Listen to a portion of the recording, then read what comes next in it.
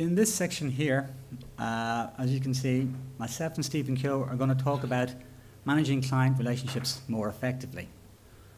Put yourself in, in the client's position. As Dave Smith has alluded to earlier on, you really need to be viewing your interaction with your client through their eyes. And remember, when they go in to meet you first, they are placing a huge amount of trust in your expertise and your knowledge. So, what will the client expect when he walks into your office? Well, the way we see it out there, there are sort of two, two strands happening here. Firstly, the solicitor would explain to the client how the case is going to be processed over the life of the case. Fairly straightforward, fairly factual, and easy to follow.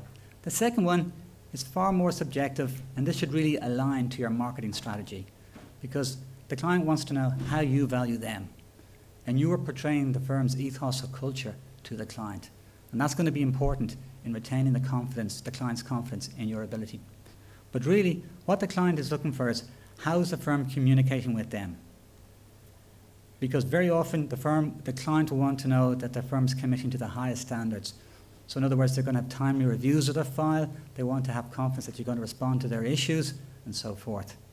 And this is something that you're going to communicate to the client when you meet them. So you're trying to instill confidence in your ability. As you all probably are aware out there, clients are more demanding and they want to know more about what's happening on the file, what you're doing. So transparency and accountability is actually quite important. So any major decisions involving the case, the client will want to be involved with. Any costings regarding the case, the client will want to know straight away. So the area of transparency and accountability is becoming very critical in retaining the confidence that your client has with you. So it's really important at the beginning of the case and you probably do this, set realistic expectations. Make sure that you're going to keep them informed as the case progresses. Because if you can invoke best practice standards, you're going to have happier clients. And more importantly, it's going to make your life easier managing the client and hopefully with a more successful outcome. So, what do we do to try and manage the resources of the firm to get the maximum out of the case? Well, there are two things here really that are quite important. One is your support staff, and the other is your IT systems. So, having this in place, how is that going to help us deal with the client? Well, the key to managing any client, as we all know, is through effective communication. But in order to, to get that communication working for you, you need to make sure that the information, as I said, is accurate. So make sure that you have basic data entry rules, that people are putting the information in the correct manner, in the correct order.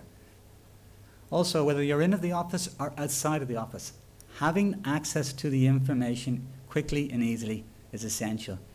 You're now probably dealing with more cases than you ever did before with a lower profit margin. So every time you deal with a client, you need to make sure you're coming from a position of strength and you need to make sure you're seen as being proactive in managing that client.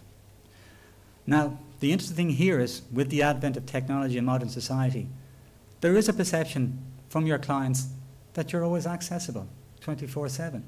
Do you use smartphones, whether they're iPhones or Android phones or iPads, in your work currently? Now, let's see the response to that 71%. That's incredible because the next slide I'm going to show you is actually going to feed in to those statistics. Red C Research, for those of you who don't know them, are very involved in doing surveys and research for all types of bodies. They did research on the explosive growth of mobile devices in Ireland. And here's the statistics they came up with. In 2010, 19% of mobile phone users had a smartphone, which is either an, an iPhone or an Android. By the end of this year, look at that figure, they anticipate 71% of mobile phone users will have a smartphone almost exactly matching the response you gave to us just there in relation to using mobile technology. They're your clients. They're going to expect to access you anywhere, anytime. You need to use this technology to your advantage. Just because your client is sending off a quick question doesn't mean it's appropriate to answer it then and there. But at least if you acknowledge it, the client is aware that you're on top of the case. But really, managing the case through the office resources, the key is the effective use of your IT, because that will fulfill best practice standards. And believe me, it'll save you a huge amount of time, but also instill full confidence in your client that you're dealing with their file in a professional and appropriate way. What you want to do is check on the quality of your data. Make sure that you've got correct standards in place for recording information. Make sure your precedents are relevant and that they're up to date. And if you haven't got workflows or case plans in place, start doing that now because they can save you a huge amount of time when liaising with your client. And also make sure that your support staff are skilled up to a level that they're actually using the system properly. And make sure you can access your information in or out of the office easily.